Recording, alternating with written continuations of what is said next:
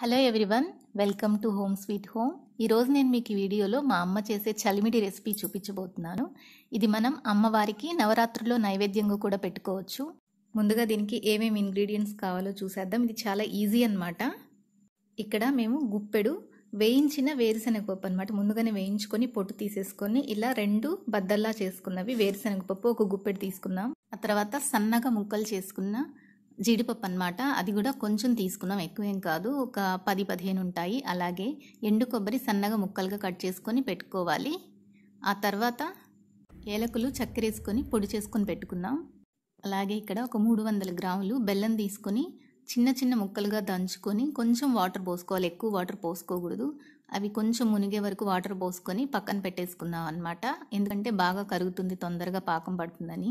అలాగే ఒక ఆరేడు గంటలు బియ్యం నానపెట్టుకొని బాగా మెత్తగా పట్టించుకున్నాం అనమాట మరపట్టించుకున్నాము తడిపిండి కావాలి మనకు ఈ చలిమిడి చేసుకోవడానికి. ఇది కూడా ఒక మూడు వందల గ్రాములు పడుతుంది.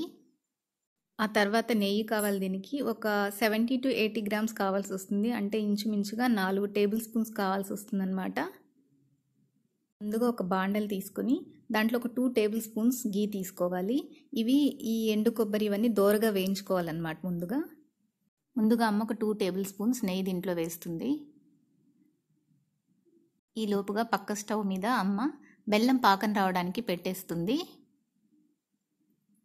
చూస్తున్నారు కదా ఒక స్టవ్ మీద బెల్లం కరుగుతుంది. ఇంతలోపుగా ఇక్కడ ఎండు కొబ్బరిని మనం దోరగా వేయించుకోవాలి. ఎండు కొబ్బరి కొంచెం దోరగా వేయించుకున్న తర్వాత అందులో జీడిపప్పు వేసుకోవాలి. ఇది కూడా కొంచెం దోరగా వేయించుకోవాలి.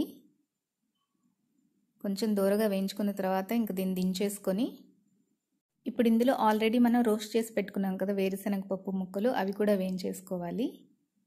ఇప్పుడు ఇంకా అది పక్కన పెట్టేసుకొని మనం పాకం సంగతి చూసుకుందాం. పాకం రావడానికి ఇంచుమించుగా ఫిఫ్టీన్ మినిట్స్ పడుతుందన్నమాట.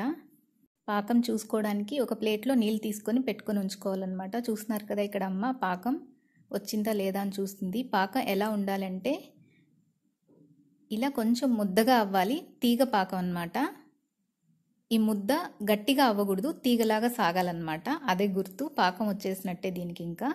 ఇప్పుడు మనకు పాకం వచ్చేసింది. ఇప్పుడు ఇంకా దీని స్టవ్ మీద నుంచి దించేసుకొని పిండి వేసుకుంటూ తొందర తొందరగా కలుపుకోవాలి. లమ్స్ పట్టకుండా చూసుకోవాలన్నమాట. పిండి తొందరగా వేసుకుంటూ కలుపుకోవాలి. లేకపోతే పిండి ఎక్కువగా పట్టదనమాట పాకంలో. అదొకటి గుర్తుంచుకోవాల్సిన విషయం.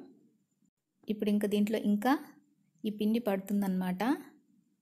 మనం మూడు వందల గ్రాములు బెల్లం తీసుకున్నాం కాబట్టి ఇంచుమించుగా మూడు వందల గ్రాములు పిండి కూడా పడుతుంది దీనికి. సో దీని కన్సిస్టెన్సీ ఎలా ఉండాలన్నది చూద్దాం మనం. చూస్తున్నారు కదా చుట్టూ ఉన్నది కూడా తీసుకొని కలుపుకుంటూ ఉండాలి. ఇప్పుడు ఇంకొంచెం పిండి వేసుకుంది అమ్మ. ఎందుకంటే మనం కన్సిస్టెన్సీ ఎలా ఉండాలి అంటే ఈ గరిట ఉంది కదా మనం చేస్తున్నది ఇప్పుడు దీంట్లో అమ్మ ఏలకుల పొడి వేస్తుంది. మనం గరిటని ఇలా పైకి ఎత్తామనుకోండి పిండితో సహా అది కిందకి జారకూడదు. ఇప్పుడు దీంట్లో మనం ముందుగానే వేయించి ఉంచుకున్న జీడిపప్పు అలాగే కొబ్బరి మిశ్రమాన్ని కూడా వేసేసింది.